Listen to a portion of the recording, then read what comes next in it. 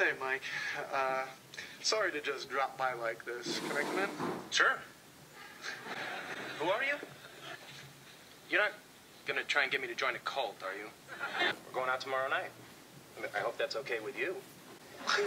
Stranger from the coffee house. I got beer. I got bottled breast milk.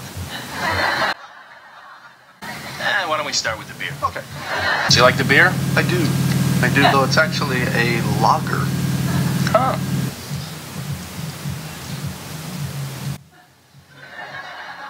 Things are about to get wild. Okay. Now, I'm trying to remember the last time I opened a door and you weren't there.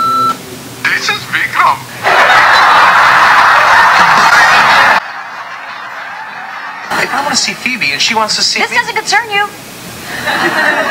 Sorry. I guess I was thrown off by the mention of my name. Sure. We're just gonna hang out as friends, then, then maybe I'll join you. Yeah, I'm your friend and I'm Mike's friend. So how have you been? I've been pretty good. Ready to go? Yeah, you bet, Roomy. Don't you mean groomy? I get the joke. Sophisticated as it was. Hello? Okay, Mike, enough is enough.